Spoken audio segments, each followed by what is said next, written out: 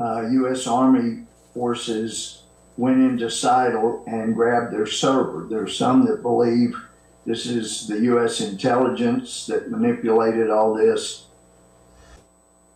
New reports claim the real results of the 2020 U.S. election were found on a computer server that was seized by the U.S. military in Frankfurt, Germany. In a recent tweet, a Virginia congressional candidate shared an electoral map that's allegedly based off of this data from that server. It shows a landslide victory for President Trump with a 410 electoral college vote, uh, including liberal strongholds California and Minnesota. Congressman Louis Gohmert, you just heard from him there.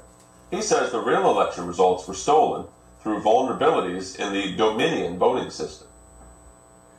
Extremely compelling evidence that could be gleaned from Scytl, that's S C Y T L, that's a company headquartered in Barcelona, Spain, that was responsible for aggregating all of our all the information from all the machines and whatnot.